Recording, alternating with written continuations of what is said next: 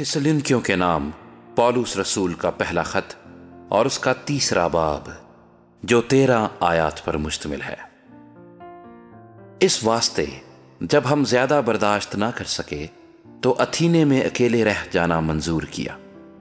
और हमने तिमोथियस को, जो हमारा भाई और मसीह की खुशखबरी में खुदा का खादिम है, इसलिए भेजा कि वो तुम्हें मज़बूत करे और तुम्हारे ईमान के बारे में तुम्हें नसीहत करे कि इन मुसीबतों के सबब से कोई ना घबराए, क्योंकि तुम आप जानते हो कि हम इन ही के लिए मुकर्र हुए हैं। बल्कि पहले भी जब हम तुम्हारे पास थे तो तुमसे कहा करते थे कि हमें मुसीबत उठाना होगा, चुनाचे ऐसा ही हुआ और तुम्हें मालूम भी है।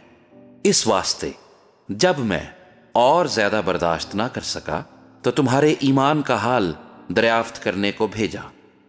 कहीं ऐसा ना हुआ हो कि आजमाने वाले ने तुम्हें आजमाया हो और हमारी मेहनत बेफायदा गई हो।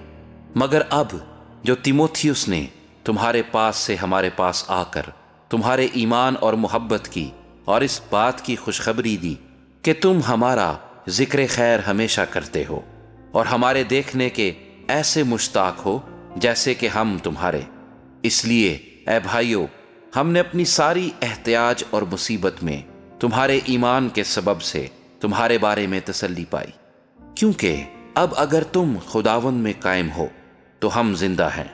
तुम्हारे बायस अपने खुदा के सामने हमें जिस कदर खुशी हासिल है, उसके बदले में किस तरह तुम्हारी बाबत खुदा का शुक्र अदा करें। हम रात दिन बहुत ही दुआ करते रहते हैं कि तुम्हारी सूरत देखें और तुम्हारे ईमान की कमी पूरी करें। अब हमारा खुदा और बाप खुद और हमारा खुदावन यस्सु तुम्हारी तरफ़ हमारी रहबरी करे। और खुदावन ऐसा करे कि जिस तरह हमको तुमसे मोहब्बत है, उसी तरह तुम्हारी मोहब्बत भी आपस में और सब आदमियों के साथ ज़्यादा हो और बढ़े, ताकि वह तुम्हारे दिलों को ऐसा मज़बूत कर दे कि जब हमारा खुदावन यीशु अपने सब मुकदसों के साथ आए तो वह हमारे खुदा और बाप के सामने पाकिजगी में बेऐब ठहरे।